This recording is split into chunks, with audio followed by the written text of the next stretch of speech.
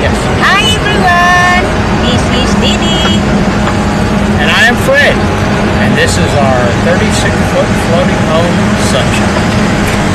Join us as we go sailing.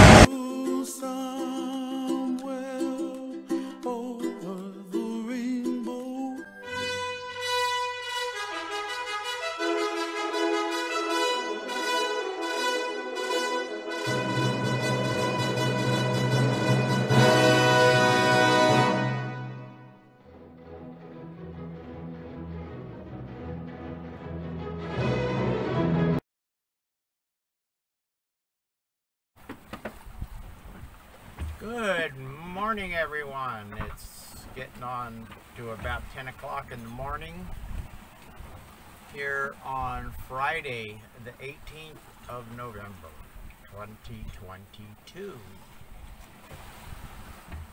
Well, in yesterday's video, I showed uh, how the wind had filled in nicely and we were doing some great sailing. As the day progressed, the wind kept increasing. Uh, nothing whatsoever about that whole weather scenario in the forecast that I got from Windy before I left.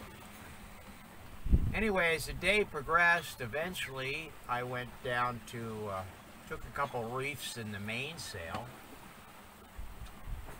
and then the wind increased some more. So I dropped the mainsail entirely because it was generating too much weather helm. And we were cooking along, still making between five and six knots with the Genoa and the staysail. Oops, gotta hold on here. And then, of course, as uh, often happens when out sailing like this, and people who've done a fair amount of sailing, I'm sure, have experienced the same thing. Along comes a squall. And when does it come? Three o'clock in the morning, of course. And the wind gets right up there, 25, 30 knots, gusting a little bit more, a little bit of rain. And the Genoa and the staysail are overpowering the boat together. So I hove to, got the Genoa down, got it lashed, and uh, started steering the boat by hand with just the staysail because the sea state had gotten just crazy with the crosswells and the short steep seas that had built up because of the squall coming. Really made it difficult uh, for the autopilot my rudimentary autopilot to handle the constantly shifting conditions. So I wound up hand steering for about I don't know, three hours or so till the sun came up. And by that time, I was pretty well worn out. And so was uh, Dee Dee, because we had both been up and running around on deck and hanging on for dear life and such like that because of the motion, not the strength of the wind. So I decided our best bet would just be to, because we have clear space many miles all the way around us, just heave to for a while. So I hove to under the staysail on the starboard tack. We were drifting off generally in a westerly direction at about two knots and got a couple hours sleep. Well, that refreshed me and recharged the battery. Now the wind, uh, that squalliness has died off, but that squall lasted a lot longer than a normal squall and seemed to bring in this uh, change in the weather. So it's still pretty cloudy all the way around overhead. There was some clear sky last night, but not a whole lot. and that continues today. The main advantage now being that conditions have stabilized enough where I can get the boat sailing again and the autopilot working. I've been trying to get the wind vane going again. I gotta re-remember or remember how to get it all set up properly to steer the boat. It does quite a good job actually, but uh, been years since I did any long distance sailing with the wind vane. I'll get it figured out, no problems there. Anyway, so now we're still sailing with just a stay sail. Making somewhere in the range of four and a half knots and based on the sea state because we got greenies out there. Now, you don't usually get greenies unless it's blowing 25 knots. And sitting here, well protected in the cockpit, it doesn't feel like the wind is blowing anywhere near 25 knots.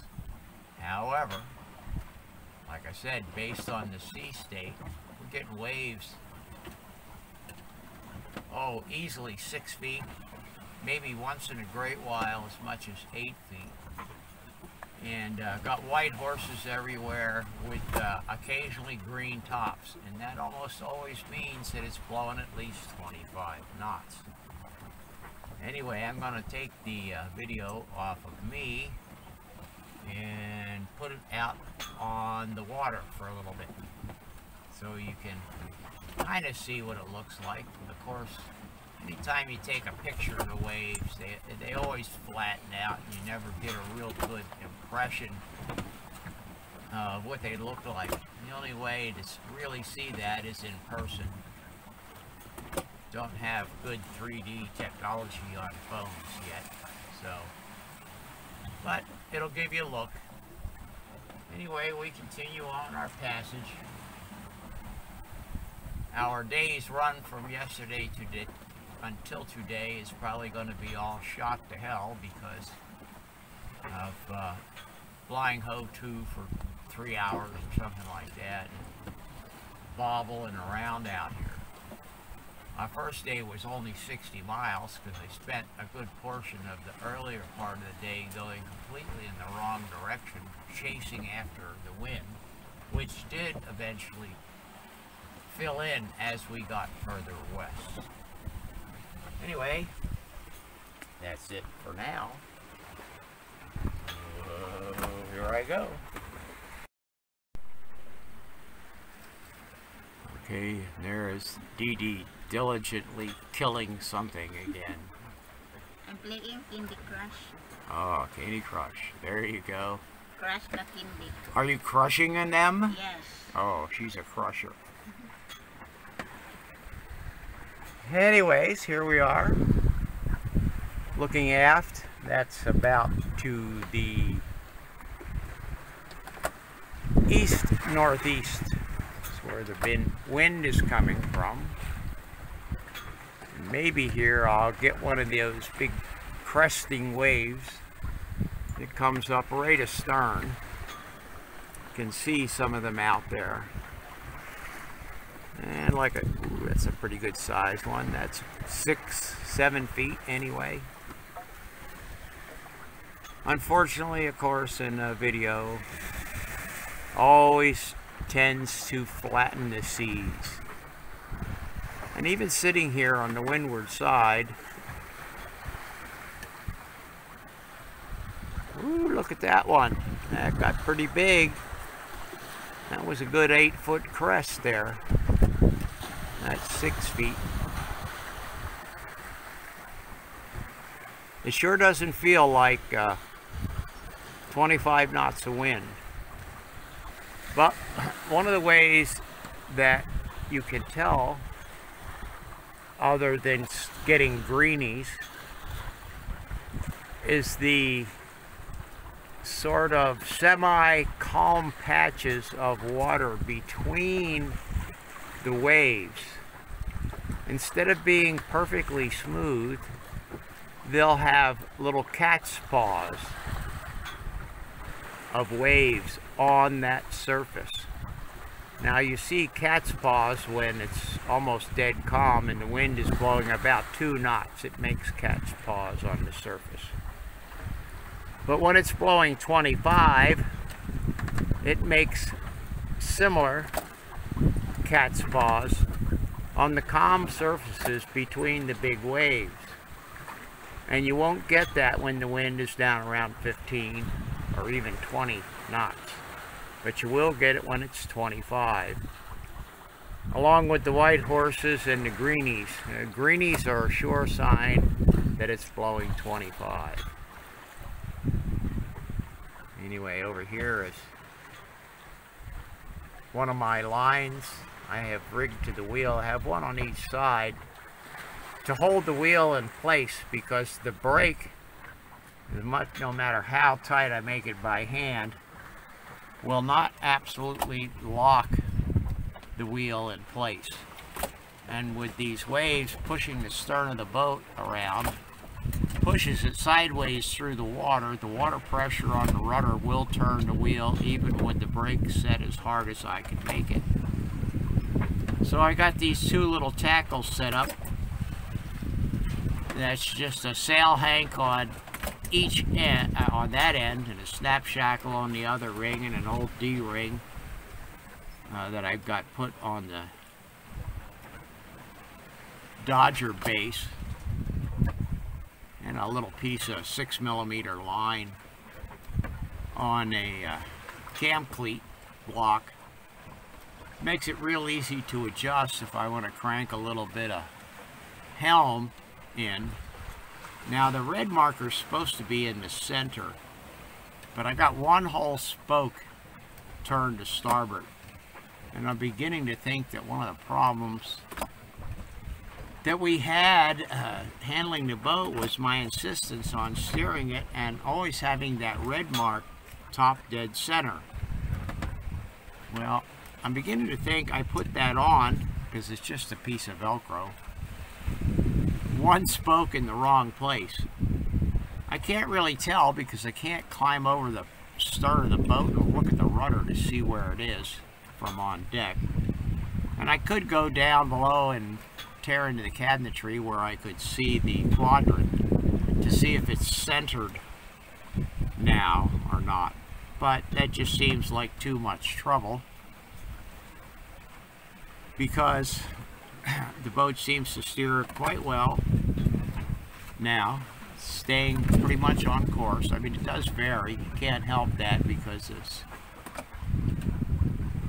autopilots are reactionary just like wind vanes. They can't be proactive only reactive. And with this big sea running occasionally they come in on the quarter or even on the beam and do really push the boat around. Anyway, for right now, Friday morning, signing off.